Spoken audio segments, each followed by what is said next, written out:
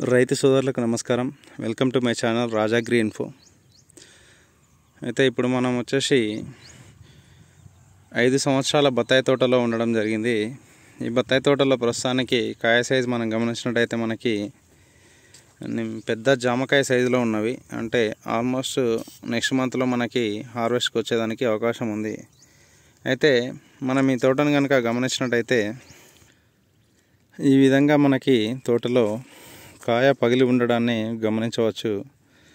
అయితే ఈ విధంగా కాయ పగులుడు అనేది మనకి ఎక్కడో ఒక చోట ఉంటే పర్లేదు కానీ మనకి ఆల్మోస్ట్ ప్రతి చెట్టుకు గమనించడం జరుగుతుంది.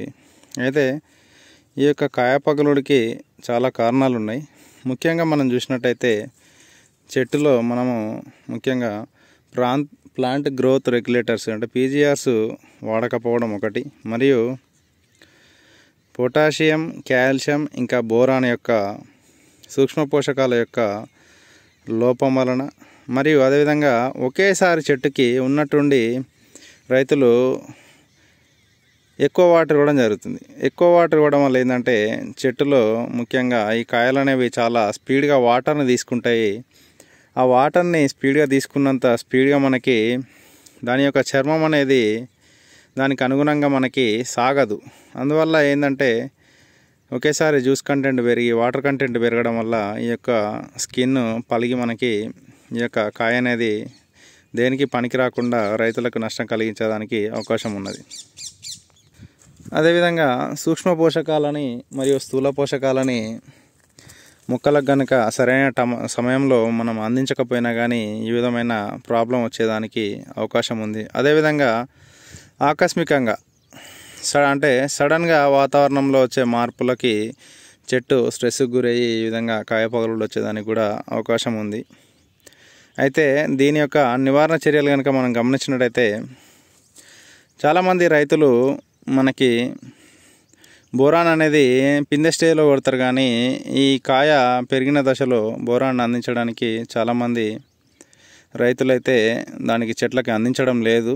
అదేవిధంగా మనకి కాల్షియం లోపం వల్ల కూడా ఈ యొక్క కాయపగులు వచ్చేదానికి అవకాశం ఉంది కాబట్టి కాల్షియం ఇంకా బోరాన్ యొక్క కాంబినేషన్లో మనకి మందులు దొరకడం జరుగుతుంది. వాటిని కనుక మనకి ఈ యొక్క కాయ ఎదిగే దశలో కనుక అందించినట్టయితే ఈ యొక్క కాయ పగులు రాకుండా ఉండడానికి అవకాశం ఉంది. ఇంకొక విషయం ఏంటంటే రైతులు చాలా వరకు మనకి కాయ సైజు రావడానికి మనకి జీరో జీరో ఫిఫ్టీ. అదేవిధంగా పదమూడు సున్నా నలభై ఐదు. అదేవిధంగా zero fifty two thirty four వంటి వాటర్ సాల్యుబుల్స్ని ఇవ్వడం జరుగుతుంది. అవి ఇచ్చిన తర్వాత మనకి కాయలో ఒకేసారి జ్యూస్ కంటెంట్ పెరిగి కాయ అనేది లావుగానికి అవకాశం ఉంటుంది. అయితే దానికి తగ్గట్టు స్కిన్ అనేది ఎన్లార్జ్మెంట్ కాకపోతే మనకి ఈ యొక్క కాయ పగుళ్ళు వచ్చేదానికి అవకాశం ఉంటుంది. కనుక రైతులు గమనించి వాటితో పాటుగా బోరాన్ని కనుక మనం చెట్టుకు అందించినట్టయితే ఈ యొక్క కాయ పగులుడు అనేది తగ్గేదానికి అవకాశం ఉంటుంది.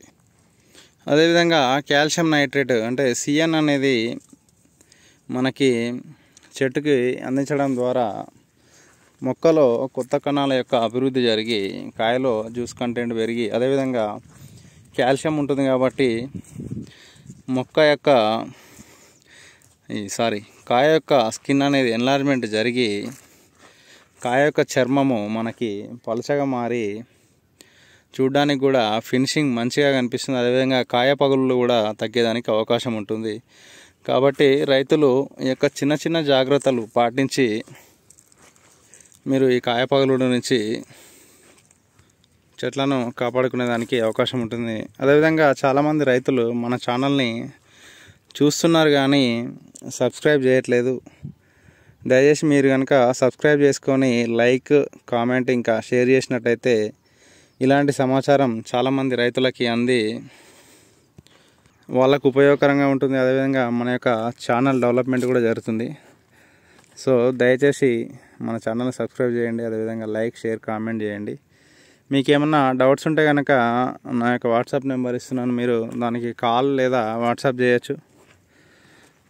అదేవిధంగా మీ తోటలో ఇలాంటి సమస్యలు వచ్చినప్పుడు మీరు ఆ సమస్య నుండి ఏ విధంగా ఆ సమస్యను అధిగమించినారో కామెంట్ రూపంలో తెలియజేయండి.